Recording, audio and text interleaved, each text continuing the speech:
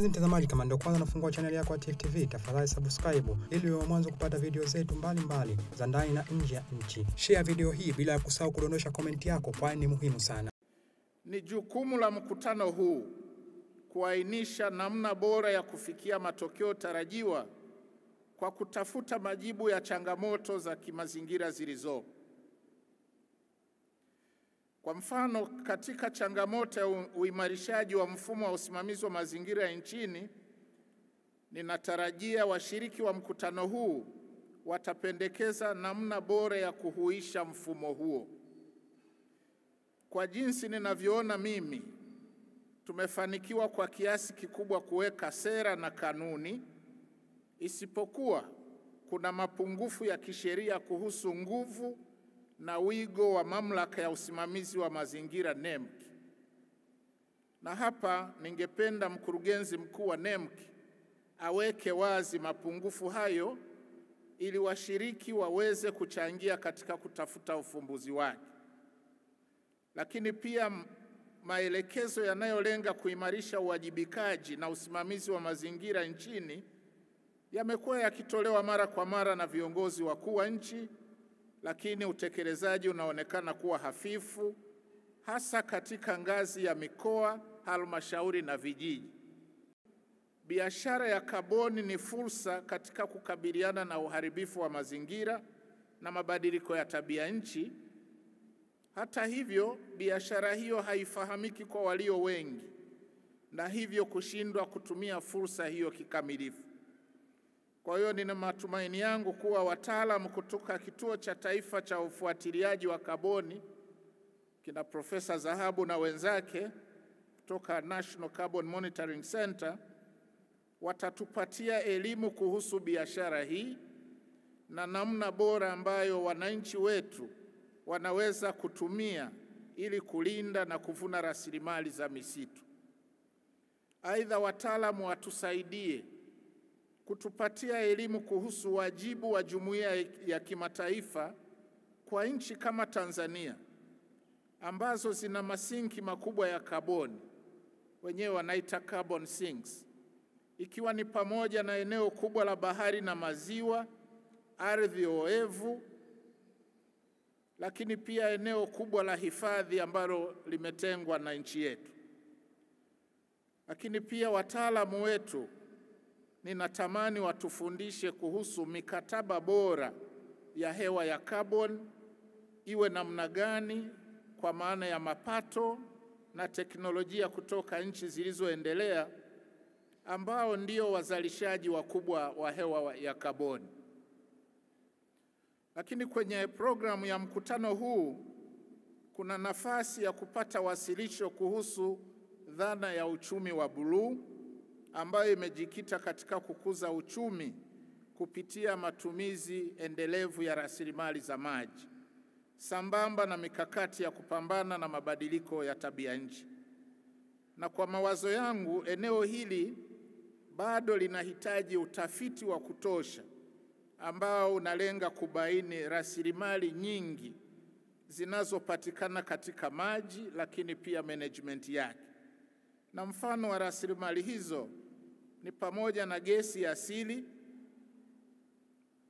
lakini pia madini, kuna viumbe hai, kuna matumbawe na kadhalika. Hali ya mazingira nchini siyo nzuri, na hii inatokana na sababu mbalimbali, mbali.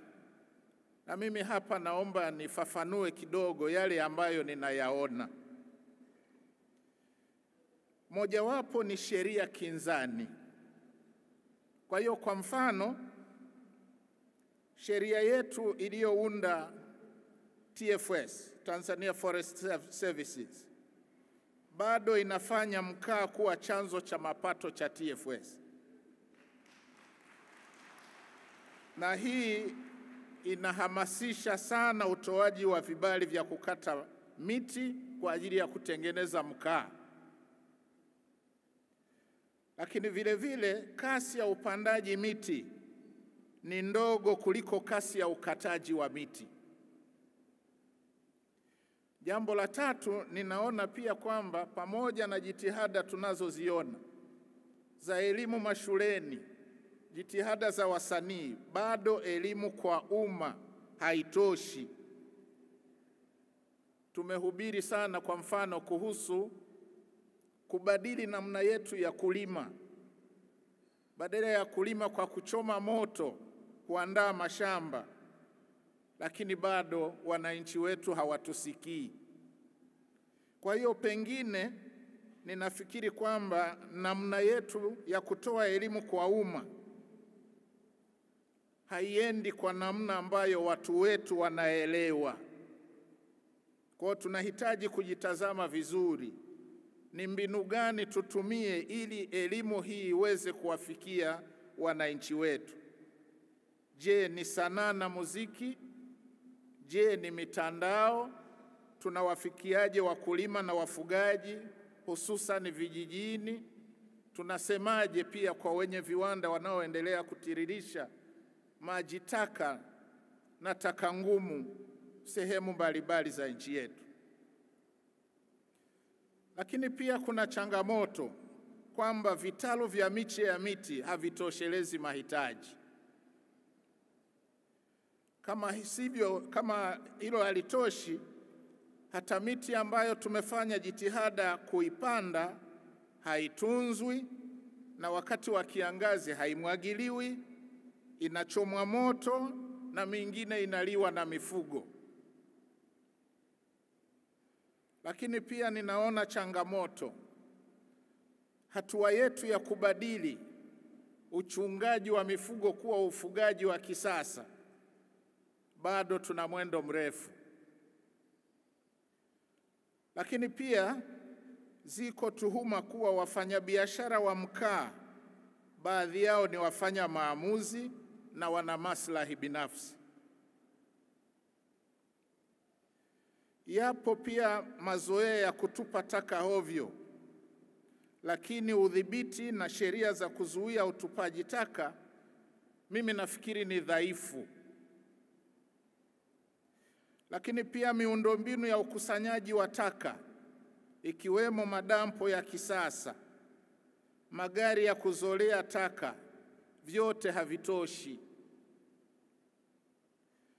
Kadhalika, viwanda vya kurejeleza taka recycling bado ni vichache mno. Lakini ninaona pia kwamba kilimo na ufugaji vinagongana na mahitaji ya kutunza mazingira. Ndio maana kwa mfano kilimo cha mpunga kule Mbarali kinakinzana na mahitaji ya maji kwa ajili ya wanyamapori, lakini pia umuhimu wa kulinda vyanzo vya maji na hasa Ruaha Mkuu. Vile vile ninaona kwamba mahitaji ya kilimo na ufugaji yanashindana na mahitaji ya maeneo yaliyotengwa kwa ajili ya uhifadhi.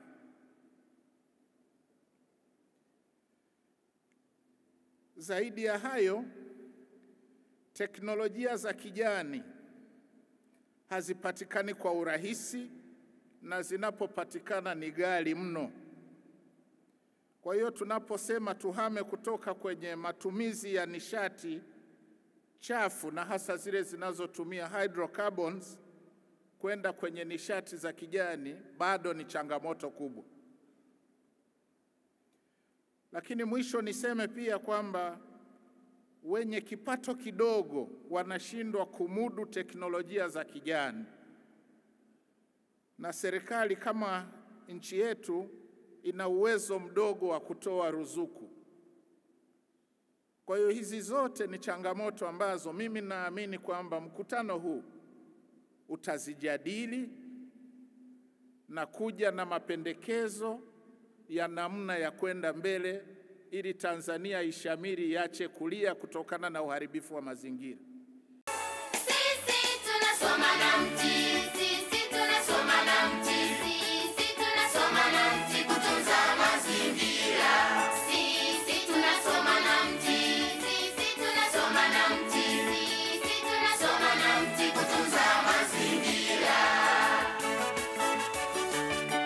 Tifu TV inakupatia video mbalimbali mbali kutoka ndani na nje ya nchi. Tafadhali endelea kutufuatilia kupitia chaneli yetu ya Tifu TV, YouTube, Facebook, Twitter na Instagram, bila kusahau kudondosha komenti yako, kwani ni muhimu sana. Tifu TV tupo kijamii zaidi.